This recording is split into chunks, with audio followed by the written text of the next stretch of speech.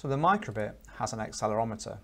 This is a device that can detect the force on a microbit in the X, Y and Z plane it can, so it can detect tilt.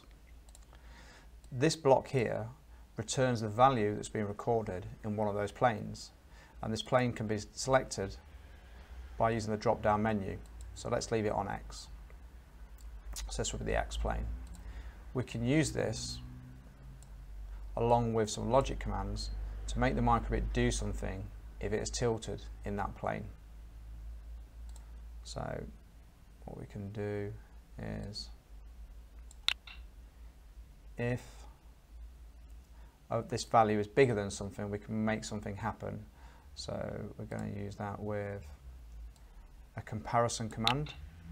So if the acceleration is greater than a number, in this case we're going to make it 555, we'll make something happen. The acceleration can be a value between 0 and 1024 depending on the strength of the acceleration in this plane. So what we'll do then is we'll show some text if the value of the acceleration in the x-plane is above 555.